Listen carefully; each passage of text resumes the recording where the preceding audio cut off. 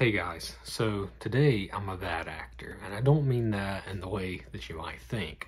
So I recently got hired at this company, and I'm pretty sure the network is vulnerable, and I'm going to try and infiltrate it, and I'm going to bring you guys along to show you how I do that. Let's go. So as you can see, I think through this door, I can actually get into the network and I'm not entirely sure how I'm going to do that, but I think I can figure it out. So let's try and get in. Um, yeah, the door seems to be locked. Let's try something else. Yeah, I don't think this is my door, sorry. Okay guys, so we're gonna try this again, but this time I've took off my mask and I've got this white little tag on me. I think I'll be able to get in this time. Let's try. Yeah, this is definitely my door.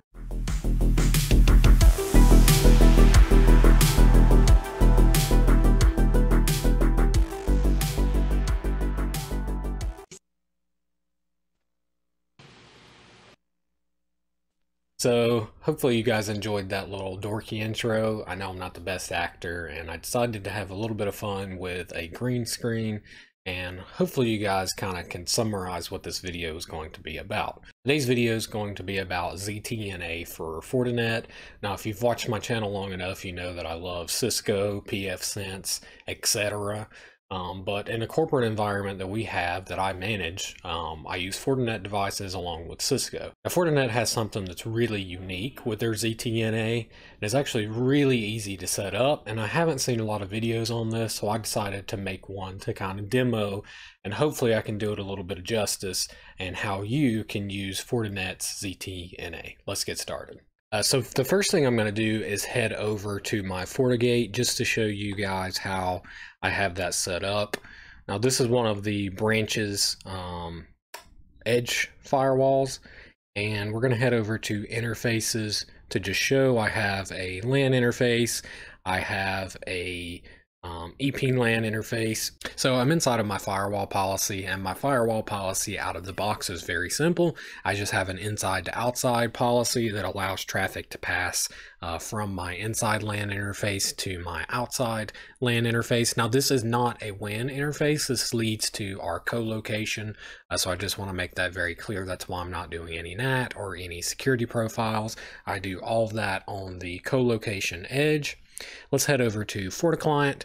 Now, FortiClient's uh, EMS is really cool because it lets us set up uh, profiles, it lets us set up rules, and essentially this is, think of it as an orchestration uh, for our clients, agents that we install on the computer, where we can then specify rules. So what we're going to do is come over here and create a new excuse me, we're going to create a new tag and we're going to say zero trust tagging rules and we're going to click add.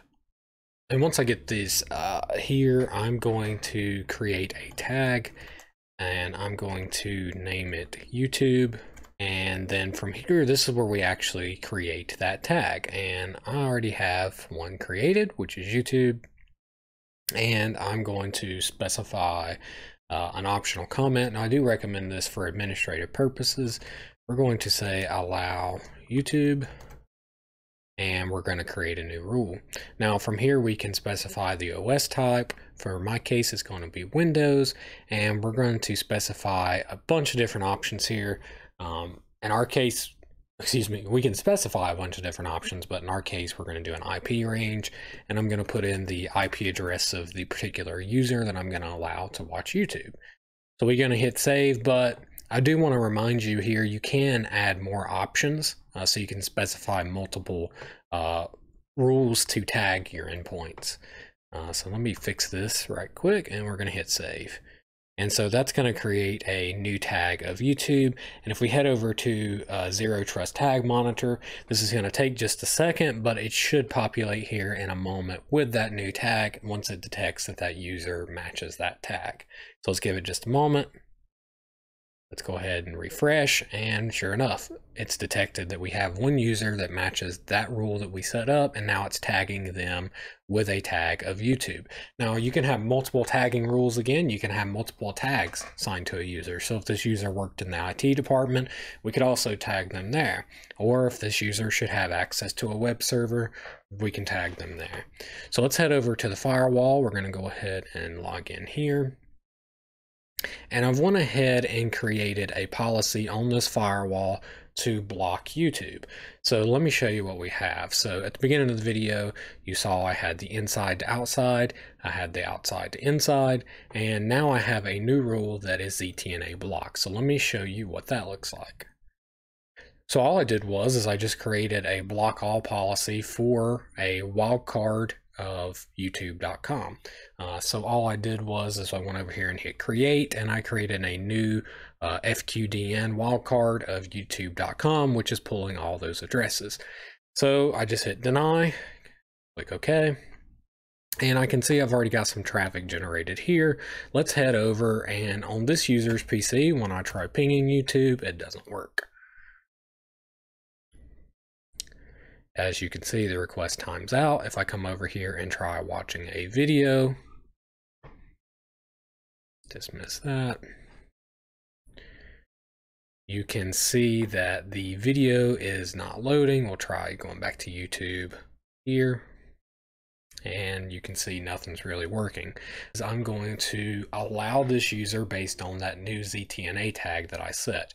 So you're going to want to make sure under Fabric connectors that you have your FortiClient uh, EMS cloud synced up and with the latest information. And then from there, we're going to head over to policy and objects, ZTNA, ZTNA tags, and under here, you should see that new tag that we just created. Now, in my case, it's not showing up, so it's likely not synced up with Forti EMS. So I'll be right back as soon as that pops up. We'll continue going.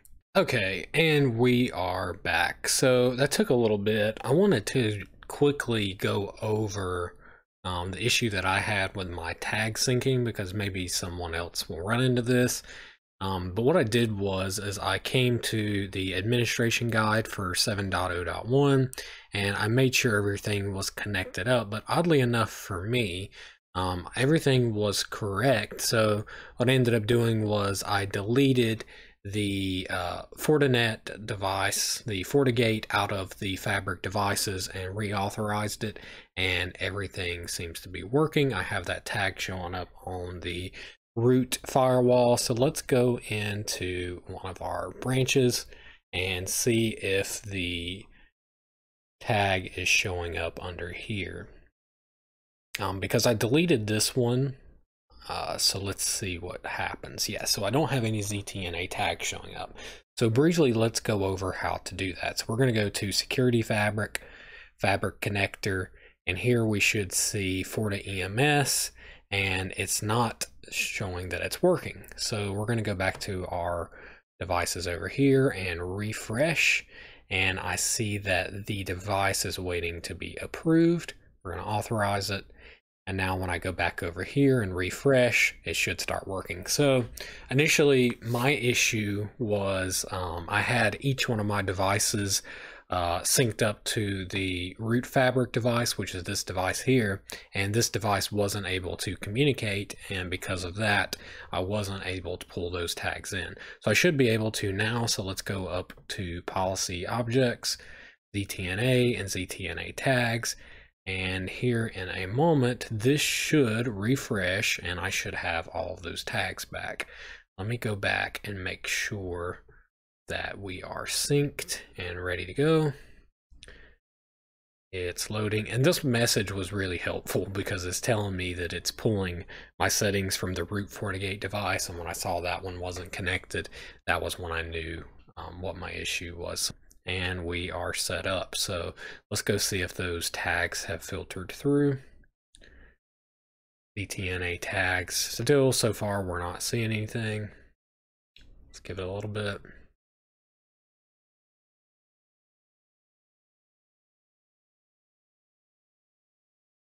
And there we go. So it took a little bit to load um, those tags in. uh, but we do have those now. So you can see we have that YouTube tag. And so now what we're going to do is create a policy to allow that tag. So we're going to do ZTNA allow, and we're going to tick ZTNA, and we're going to do IP MAC filtering. And here we're going to specify that tag with IP. And we're going to say the incoming interface is once again our LAN. The outgoing interface is our outside to EP LAN. We're going to say the source for this, we could do a user group or an address. In this case, we're just going to hit all uh, because what we're doing is matching on that tag. Uh, so the source could be coming from anywhere going to the destination of all.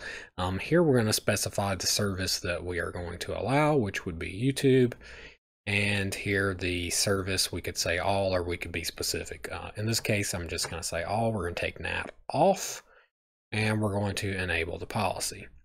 So now what's going to happen is, is we're going to drag this up above. So we should have an allow policy that's going to filter for the tag and it's going to allow to YouTube.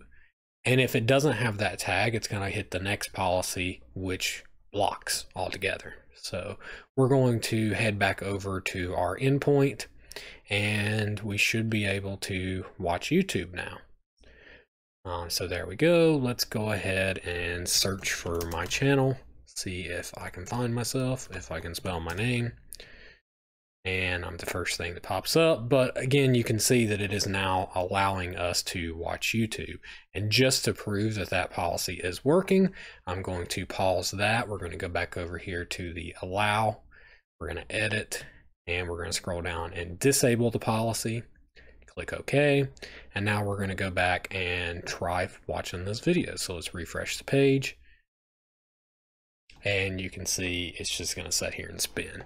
But as soon as I go back over here and allow the policy again, so we're going to go back and hit edit and we're going to enable the policy. This video should now load and start playing. So as you can see, that's pretty simple. Um, I'm a really big fan of this. Uh, I can also come back under here and update the statistics. And once the firewall starts realizing that that policy is being ticked and the user is watching, these statistics should uh, start updating. So it's very simple to set up. Um, I'm going to put in the description box uh, several of these articles because it's really easy to set this up. And if you guys want to get this going in maybe let's say a lab environment, it's really easy to do. So what you can do is you can head over to uh, Fortinet's website. So we'll go to fortinet.com. And once we get here, you will see a bunch of different things, but zero trust access and then ZTNA. So this does require a license, but it's really, really cost effective depending on the amount of users that you're going to have. And because it works really well, it's really easy to understand how it works. And you can even get further in depth than what I did here using proxies and whatnot. Um, so this again is just a quick and easy, dirty example. But if you guys want to get some hands-on experience learning this, what you can do is you can head up to their website at Fortinet.com.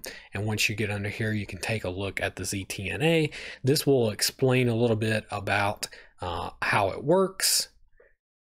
And you can see here through this documentation, you can learn a little bit more about it. But what's really nice is, is Forti EMS comes with a 30-day free trial. Uh, so let's search for Forti EMS and here we should find it. So you can sign up for the Forti EMS free trial. I think you get 30 days or actually I, I, stand corrected. Here it says the trial version is not time limited and you can let it manage up to three clients.